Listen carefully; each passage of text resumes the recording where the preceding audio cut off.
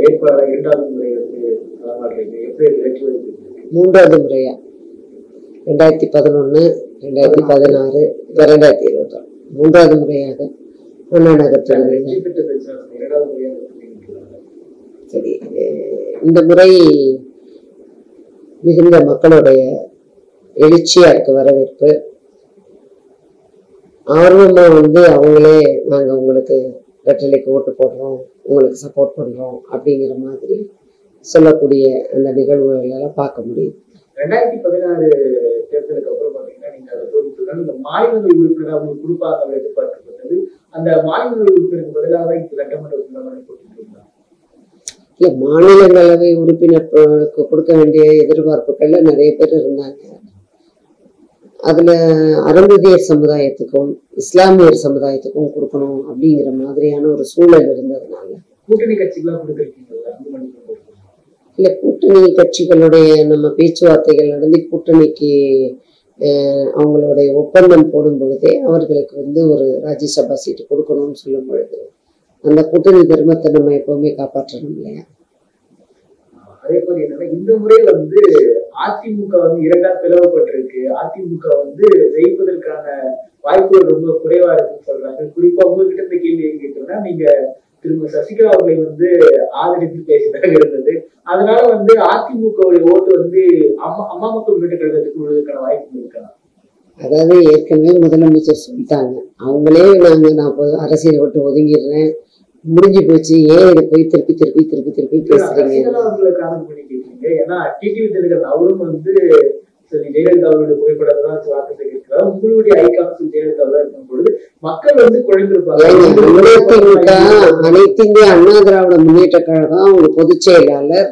இன்றைக்கு அதன் வழியா வந்து அத்தனை பொதுக்குழு செயற்குழு கூடி தேர்ந்தெடுக்கப்பட்ட ஒருங்கிணைப்பாளர் இணை ஒருங்கிணைப்பாளர் அப்படிங்கிற மாதிரி உள்ளது. துணை ஒருங்கிணைப்பாளர்கள்னு இருக்காங்க. அந்த அளவுல அவர் ஸ்ட்ராங்கா இருக்கும் பொழுது நீங்க போய் அதிமுக கட்சியோட தேவையில்லாம புரட்சி தலைவர் நீங்க எல்லா கட்சியில இருந்து தான் படத்தை போட்டு போட்டு புரட்சி தலைவர் பெரியப்பான்னு கூட தான் ஸ்டாலின் சொல்றாரு. என்ன பண்றது? அவங்களுக்கு ஓட்டுக்காகவும் ஓட்டு வங்கிக்காகவும் இது பண்றாங்க. டிடிவி தினகரன் அவர்கள் அம்மா உயிரோடு இருக்கிற வரைக்கும் அவரை கட்சியை விட்டு நீக்கப்பட்டிருந்தவரை சேர்க்கவே இல்லை.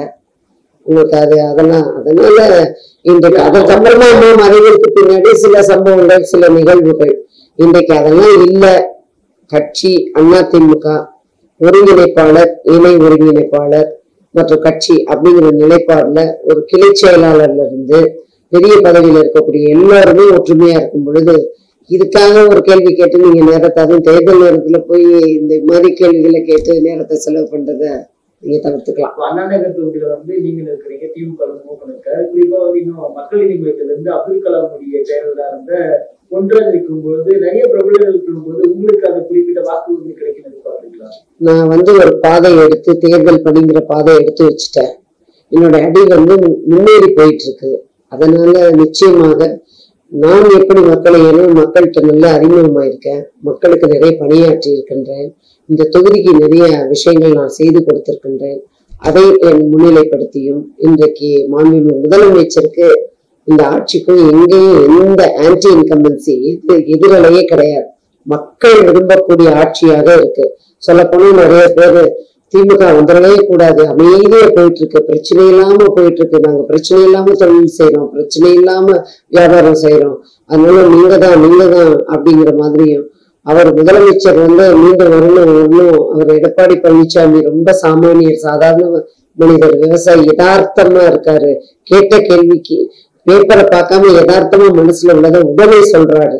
அப்படிங்கிற மாதிரியான எல்லாரும் விரும்பக்கூடிய ஒரு நிலைப்பாடு இருக்கிறதுனால வந்து நம்ம மற்ற விஷயங்களை யோசிக்காம வெற்றிக்கான பாதைகளை பார்த்து முன்னேறி கொண்டிருக்கிறோம். திமுகவுடைய முன்னாள் தலைவர் கலைஞர் கருணாநிதி இல்லாத ஒரு தேர்தல் அதிமுகவில் ஜெயலலிதாவும் இல்லாத தேர்தல்ன்றப்போ திமுகவுடைய ஒரு முகமாக இன்னைக்கு மு. க. ஸ்டாலின் வந்து மாறி வந்துட்டாங்க. அவங்க கட்சியை ஏற்றுட்டாங்க ஆனா அதிமுகவில் வந்து அந்த ஒற்றை தலைமை அப்படின்றது வந்து எடப்பாடி பழனிசாமி இருக்காரா? அதாவது ஒரு விஷயம் கேட்டுக்கோங்க. அதிமுகல குடும்ப அரசியல் கிடையாது. வாரிசு அரசியல் கிடையாது. தொண்டர்களுக்கான கட்சி புரட்சி தலைவர் அப்புறம் அம்மா. அம்மாவுக்கு பின்னாடி வந்து இன்றைக்கு மாண்புமிகு முதலமைச்சர் துணை முதலமைச்சர் இருக்காங்க. அவங்க வந்து அம்மாவுக்கு நேரடியான பிளட் ரிலேட்டிவ் கிடையாது சொந்தக்காரங்க கிடையாது. ஆனா இன்னைக்கு வெற்றிகரமாக அதிமுக தொகுதியில வந்து ரவீந்திரநாத் எந்த அடிப்படையில் தேர்ந்தெடுக்கப்பட்டாங்க அதாவது அரசியல் பங்கெடுப்புகள் அரசியல் பதவிகள் அரசியல முக்கிய முடிவு எடுக்கக்கூடிய ஒரு நிலைப்பாடை எடுத்துக்கொண்டா வந்து இன்றைக்கு பல்வேறு அம்மாவுடைய தம்பிகள் தான் இருக்காங்க. ஆனா ரவீந்திரநாத் வந்து அம்மா இருக்கும்போதே அவர் பாசறையில அவருக்கு பதவி கொடுக்கப்பட்டது. அம்மாவே எடுத்த முடிவு தான் பாசறை செயலாளர் மாவட்ட பாசறை செயலாளருங்கிற ஒரு பதவியை அம்மா இருக்கும்போதே வழங்கப்பட்டது. ஒரு இளைஞர். அதனால அவருக்கு ஒரு வாய்ப்பு கொடுக்கப்பட்டது. அது மற்ற ஆறு தொகுதிகள் இருக்கு. அந்த அந்த மாவட்டத்துல மற்ற தொகுதிகள்ல இன்னைக்கு பல்வேறு தொண்டர்களுக்கும் பொறுப்பாளர்களுக்கும் தானே வாய்ப்பு கொடுக்கப்பட்டிருக்கு. தமிழகத்துல வந்து பாஜக மேல வந்து ஒரு வெறுப்பு அரசியல் கட்டமைக்கப்பட்டதுன்னு சொல்லியிருக்காங்க ம். வந்து இருபது தொகுதி ஒதுக்கீடு செய்யறது அதிமுக வெற்றி வாய்ப்பை பாதிக்குமா? இல்ல. மிக பலமாக அதாவது இன்னைக்கு இந்த கூட்டணிங்கிறது மிகுந்த எல்லோரும் மக்கள் வரவேற்கக்கூடிய ஒரு கூட்டணி.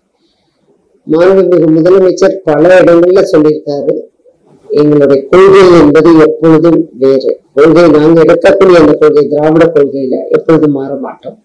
கூட்டணி என்பது வேறு அப்படின்னு. ஒரு இடத்துல இன்டர்வியூல கூட கேட்டு சொன்னாரு.